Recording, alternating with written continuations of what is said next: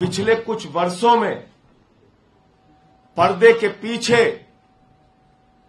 देश की जनता से छिपाकर हज़ारों लाखों करोड़ का भ्रष्टाचार देश की मोदी सरकार ने किया है, भारतीय जनता पार्टी की सरकार ने किया है, इसका खुलासा आपके सामने करना चाहता हूँ। और यह भ्रष्टाचार इलेक्टोरल बॉन्ड के नाम पर हुआ है। इलेक्टोरल बॉन्ड के नाम पर यह घोटाला यह भ्रष्टाचार हुआ।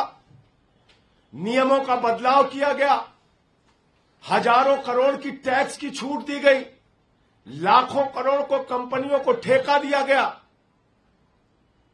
और ये सब कुछ पर्दे के पीछे चल रहा था। मैं तो धन्यवाद देना चाहता हूँ माननीय सर्वोच्च न्यायालय का, जिन्होंने मुँह से, छाती से दिमाग से जहाँ जहाँ इनका डाटा छुपा हुआ था, वो सारा का सारा डाटा खींच के देश की जनता के सामने निकाल के रख दिया। मैं धन्यवाद देना चाहता हूँ माननीय सर्वोच्च न्यायालय का।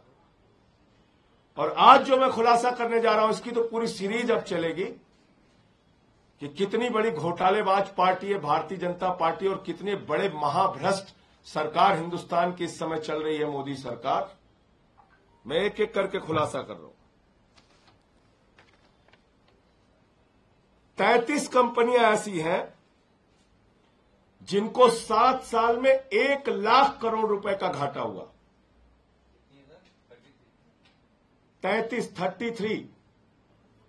इनको पिछले सात वर्षों में एक लाख करोड़ रुपए का घाटा हुआ, एक लाख करोड़ रुपए का। और इन कंपनियों ने बीजेपी को 450 करोड़ रुपए का चंदा दिया है। दूसरी कैटेगरी है, सत्रह कंपनियाँ ऐसी हैं इसमें, इन तैतीस कंपनियों में, जिन्होंने या तो ज़ीरो टैक्स दिया है, या उनको टैक्स में रिबेट मिला है, माइनस टैक्स है उनका। छह कंपनी ऐसी हैं, छह कंपनी ऐसी हैं, जिन्होंने भारतीय जनता पार्टी को 600 करोड़ रुपए चंदा दिया है। कितना चंदा दिया है? 600 करोड़ रुपए। और इसमें एक कंपनी ऐसी है जिसने अपने प्रॉफिट से तीन गुना ज़्यादा चंदा दिया है। यानी कंपनी का जो मुनाफा है, उसके मुनाफे से तीन गुना ज़्यादा चंदा दिया है। कितने बड़े हृदय की कंपनी है, देखिए। उसका बेचारे का मुनाफा नहीं हुआ। लेकिन मुनाफा नहीं होने के बावजूद उसने तीन गुना ज़्यादा चंदा दिया है। दूसरी कंपनी ऐसी है, ये तो और मज़ेदार है। इसमें एक कंपनी ऐसी है, जिसने अपने मुनाफे का तिरानवे गुना ज़्यादा चंदा दिया है। एक कंपनी तो मैंने बताया जिसने अपने मुनाफे का तीन गुना ज़्यादा चंदा दिया है। दूसरी कंपनी ऐसी है जिसने अपने मुनाफे का तिरानबे गुना ज़्यादा 93 टाइम्स मोर तिरानबे गुना ज़्यादा चंदा दिया है।